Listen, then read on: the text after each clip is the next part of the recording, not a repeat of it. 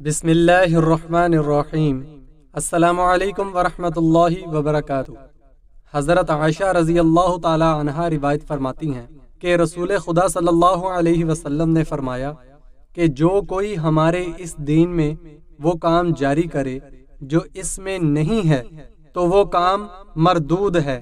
دین اسلام ایک صاف، سچا، کامل و مکمل دین ہے۔ رہتی دنیا تک اس کا ہر ہر حکم محفوظ ہے۔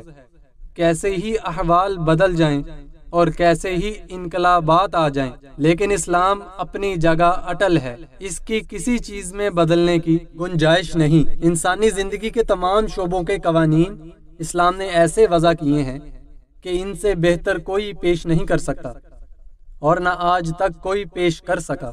اسلام کامل اس قدر ہے کہ اسلام کے نہ نظام حکومت میں تبدیلی کی گنجائش ہے، نہ اس کے نظام اقتصادیات میں کسی اضافہ یا کمی کی ضرورت ہے، نہ اس کے نظام معاشرت میں کسی تبدیلی کا موقع ہے، نہ اس کے وضع کردہ ترک معاملات کے متعلق کسی ترمیم کی حاجت ہے۔ غرض کہ تمام شعبہ ہائے زندگی میں اسلام جاری و ساری ہے اور اس میں کہیں بھی کسی جگہ تبدیل و ترمیم کی ضرورت نہیں۔ اور کیوں کر تبدیلی کی ضرورت ہو سکتی ہے؟ جبکہ اللہ جل شانہ الیوم اکملت لکم کا اعلان کر چکے ہیں۔ پھر اسلام کے احکامات میں کوئی الجھاؤ، پیچیدگی نہیں ہے، جس کی وجہ سے سمجھنے یا عمل کرنے میں وقت پیش آئے۔ بلکہ اس کا ہر فیصلہ، دو ٹوک اور ہر حکم صاف اور سریح اور ہر قانون ظاہر اور بین ہے۔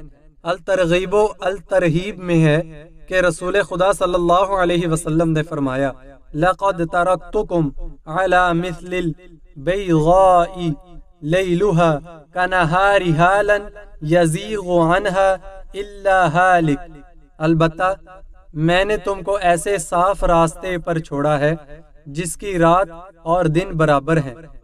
اس سے وہی ہٹے گا جو ہلاک ہوگا یعنی اپنی جان کو دوزخ میں ڈالنے کو تیار ہوگا۔ جبکہ دین اسلام کامل و صاف سریح دین ہے، جس میں ذرا سی بھی ترمیم اور اضافہ کی گنجائش نہیں ہے۔ تو اب اس میں کسی بدعت کا نکالنا اور اپنی طرف سے کسی ایسے کام کو دین میں داخل کرنا جو دین میں نہیں ہے، سراسر گمراہی ہوگی۔ حضرت امام مالک رحمت اللہ تعالی نے فرمایا، جس نے بدعت کا کام کیا، گویا اس نے یہ سمجھا کہ محمد صلی اللہ علیہ وسلم نے اللہ کا حکم پہچاننے میں غلطی کی ہے اور پورا دین نہیں پہنچایا اور احکام ٹھیک ٹھیک نہیں بتلائے ہیں۔ لہٰذا میں اس میں اپنی طرف سے کوئی عمل جاری کر کے ناقص دین کی تکمیل کرتا ہوں۔ اللہ کی پناہ، بدعت والے یوں تو ہرگز نہیں کہتے۔ کہ ہم بدعت کر رہے ہیں، بلکہ اپنے اعمال کو عین دین سمجھتے ہیں، جس کی وجہ سے ان کو قرآن و حدیث دیکھنے کی بھی توفیق نہیں ہوتی اور حق و باطل کی تمیز نہیں رہتی۔ کیونکہ معصیت اور سراسر نافرمانی کو اہل بدعت نیکی سمجھتے ہیں، اس لیے بدعت سے توبہ بھی نہیں کرتے، نہ اس کی انہیں توفیق ہوتی ہے۔ بدعت کے علاوہ کوئی کتنا ہی بڑا گناہ ہو، چونکہ انسان اسے گناہ سمجھتا ہے۔ اس لیے اس کے کرنے سے ڈرتا بھی ہے اور توبہ بھی کرتا ہے۔ قیامت کے دن کی پکڑ کا بھی خیال اس کے دل میں پیدا ہوتا ہے۔ لیکن بدعت کو چونکہ نیکی سمجھ کر کیا جاتا ہے، اس لیے اس سے توبہ کرنے کا موقع ہی نہیں ملتا۔ شیطان کی سب سے بڑی چال یہی ہے کہ انسان کو ایسے عمل پر ڈال دے جو حقیقت میں گناہ ہو اور کرنے والا اسے نیکی سمجھتا ہو۔ الترغیب و الترہیب میں ہے ابلیس نے کہا کہ میں نے لوگوں کو گناہ کرا کے ہلاک کیا یعنی دوزخ کا مستحق بنایا۔ تو انہوں نے مجھے اس طرح ہلاک کر دیا کہ گناہ کر کے توبہ کر لی اور میری محنت پر توبہ کر کے پانی پھیر دیا۔ جب میں نے یہ ماجرا دیکھا تو میں نے ایسے عمل جاری کر دیے جو نفسوں کی خواہشوں کے موافق ہیں اور حقیقت میں گناہ ہیں۔ اب وہ ان کاموں کو چونکہ نیکی سمجھتے ہیں اس لیے اپنے کو ہدایت پر جانتے ہیں۔ لہٰذا استغفار نہیں کرتے۔ چونکہ خلاف سنت کام بدت ہے، اس لیے بدت کے اعمال مقرر نہیں ہیں، بلکہ بے شمار ہیں۔ اور ہر ملک اور ہر صوبہ میں علیحدہ علیحدہ بدتیں ہیں۔ عوام میں مروب ہو کر بہت سے علاقوں میں علماء بھی بدتوں میں شریک نظر آتے ہیں۔ علماء کی ذمہ داری ہے کہ عوام میں جو بھی کوئی عمل ہوتا دیکھیں۔ اسے قرآن و حدیث اور سنت خلفۂ راشدین و صحابہ رضی اللہ عنہم میں تلاش کریں۔ اگر نہ ملے تو پوری کوشش صرف کریں کہ وہ عمل چھوٹ جائے اور اس کی جگہ سنت نبویہ پر عمل ہونے لگے۔ شادی بیاہ، مرنے جینے میں ہر جگہ بے شمار بدتیں ہوتی ہیں۔ قبروں کو غسل دینا، پختہ بنانا، قبروں پر روٹیاں یا غلہ تقسیم کرنا وغیرہ بے شمار بدتیں رائج ہیں۔ اور ان کو مٹانے کے لیے اللہ کے سچے بندے جان توڑ کوشش کر چکے ہیں۔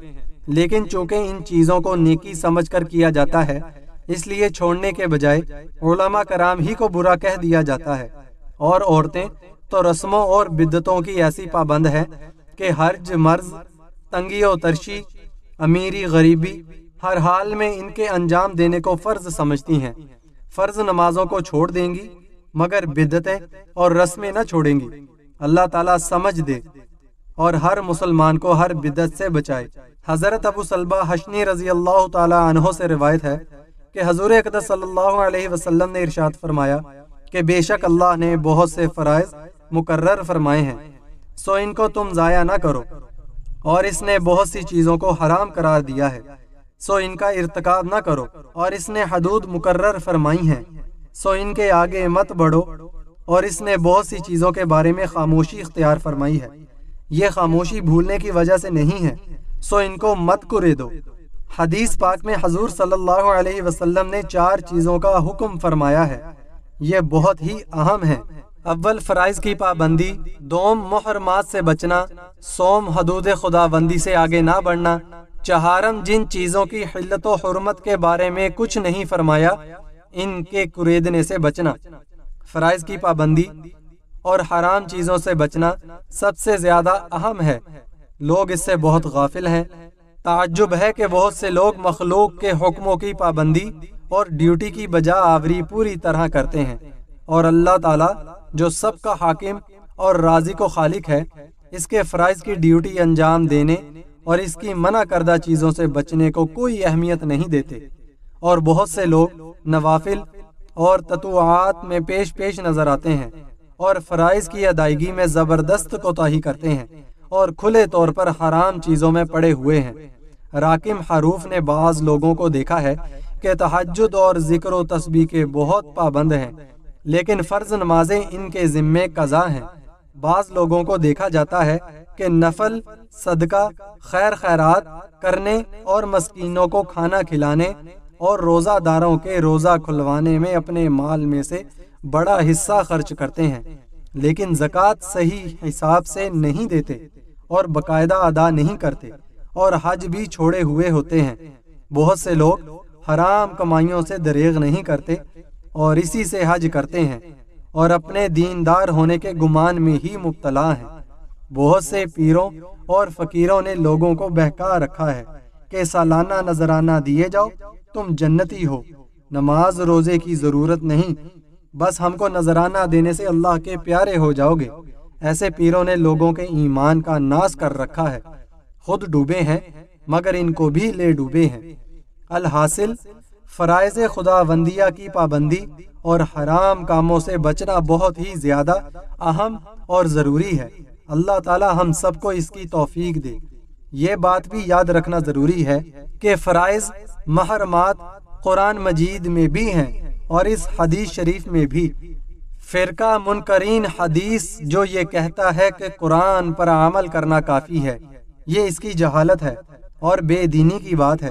قرآن مجید میں ارشاد ہے، وما اتاکم الرسول فخذوه وما نهاکم عنه فانتهوا۔ اور رسول صلی اللہ علیہ وسلم جو کچھ تم کو دیں، وہ لے لو اور جس چیز سے روک دیں، اس سے رک جاؤ۔ اور فرمایا، قل ان کنتم تحبون اللہ فاتبعونی یحببکم اللہ۔ آپ صلی اللہ علیہ وسلم، فرما دیجیے کہ اگر تم اللہ تعالیٰ سے محبت رکھتے ہو، تو میرا اتباع کرو۔ اللہ تعالیٰ تم سے محبت فرمائیں گے۔ اور حدیث شریف میں ہے کہ آپ صلی اللہ علیہ وسلم نے فرمایا کیا تم میں سے کوئی یہ سمجھتا ہے کہ اپنی مسند پر تکیہ لگائے اٹکل سے یوں کہے کہ اللہ نے اس کے سوا کچھ حرام نہیں کیا؟ جو اس قرآن میں ہے، خبردار، یقین جانو، خدا کی قسم کھا کر کہتا ہوں کہ میں نے بہت سی چیزوں کا حکم دیا ہے اور بہت سی نصیحتیں کی ہیں اور بہت سی چیزوں سے میں نے روکا ہے اور یہ سب تعداد میں قرآن کے احکام کے برابر ہیں۔ بلکہ اس سے بھی زیادہ ہے